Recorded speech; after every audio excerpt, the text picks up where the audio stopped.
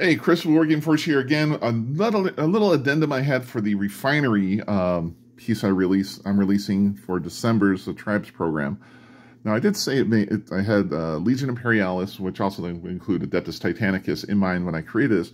But a little something I realized, and I forgot to mention that with a piece like this, there is nothing on it that kind of tells you the scale of the piece, unlike any of my other buildings, which have very obvious floors where people would be uh, on.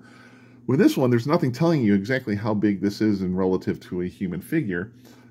So if we really wanted to, couldn't we just also 40k miniature works pretty dang well in here, so you can use this as a smaller version for a 40 or smaller scale version or larger piece for 40k games, as well as this. I mean, honestly, this looks like a fantastic addition for a uh, Necromunda setting as well.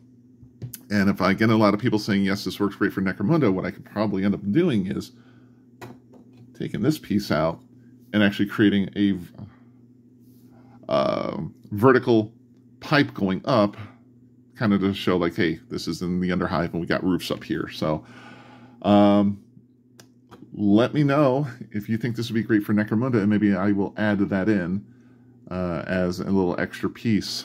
I mean, honestly, a pipeline is not going to be a big uh, design hassle, so look into that. But again, a little afterthought on the pipeline. Like I said, it.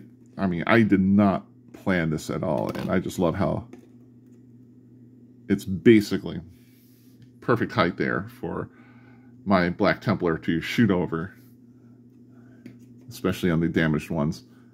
So yeah, let me know what you think of this, and if uh, yeah, if I if you agree with me that this could make a good piece for a 40k or Necromunda style game. All right, thanks so thanks again. Talk to you later. Bye.